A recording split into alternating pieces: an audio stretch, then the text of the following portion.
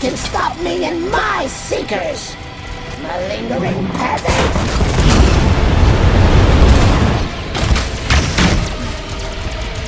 I wouldn't be in this situation if I were leading the Decepticons. You two really thought you could stop me.